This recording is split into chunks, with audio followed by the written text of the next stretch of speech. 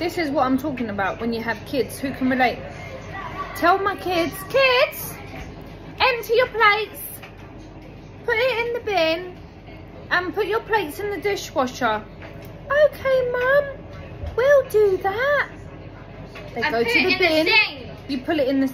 They put all their plates in the sink. I still put it in the washing. Put it in the dishwasher. I say. You put it in the sink. Do I look like the? No, I am the human dishwasher.